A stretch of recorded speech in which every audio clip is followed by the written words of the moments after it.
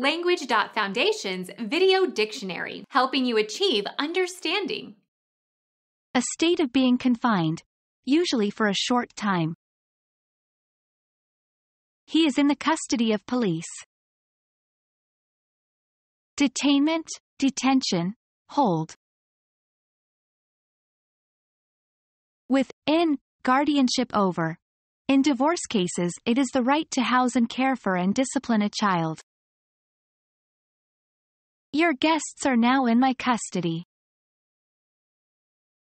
Hands. Holding by the police. The suspect is in custody. Become our student and get access to effective and free educational materials. Subscribe to our channel to become a part of our growing community and to learn English effectively.